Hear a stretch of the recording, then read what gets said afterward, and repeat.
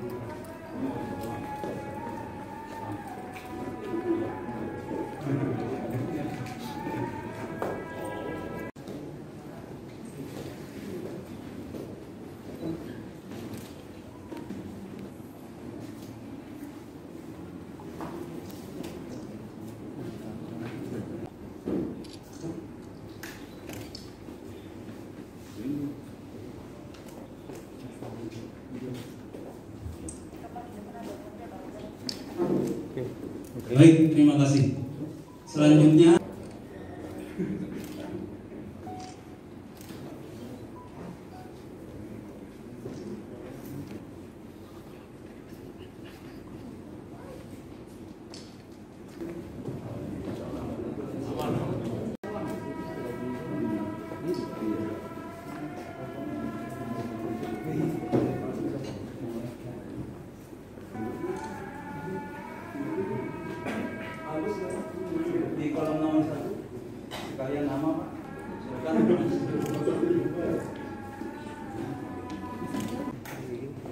ini saya anak dari Bapak Rosidi dan uh, keluarga mengucapkan permohonan maaf uh, yang sebesar-besarnya kepada pihak rumah sakit Mekarsari yang mana telah terjadi insiden uh, yang insiden pada hari Senin kemarin yang tidak uh, yang benar-benar tidak kami kehendaki dan juga kendali dari keluarga inti.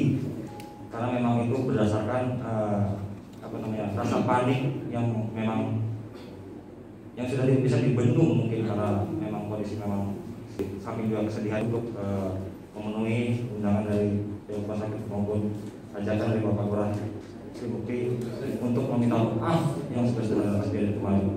Mungkin itu yang saya sampaikan. Terima kasih. Assalamualaikum warahmatullahi wabarakatuh. Pak, eh, sebelumnya almarhum dirawat di situ udah berapa hari? Ini Ya. enam hari pemalam. Sakitnya pak? Sakitnya apa? Sakitnya itu di eh, ya ini ini bukan bukan- bukan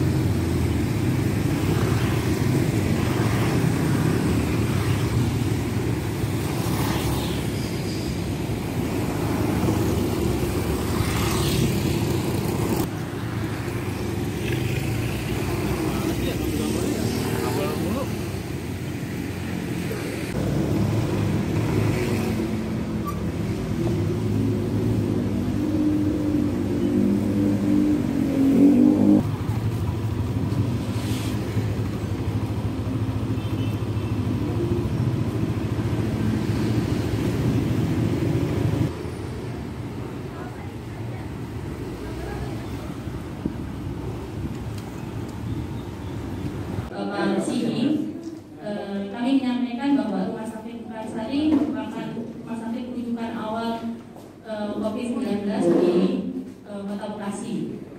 Jadi kami melakukan protokol pelayanan sesuai dengan kebijakan yang sudah ditetapkan oleh Kementerian Kesehatan, Dinas Kesehatan, dan juga dari pemerintah Kota Bekasi. Dan sampai ke pemulasaran kami sesuai dengan prosedur tersebut. Pihak keluarga tadi menyampaikan kepada kami bahwa eh, insiden yang terjadi pada tanggal 8 Juni adalah eh, di luar kendali keluarga.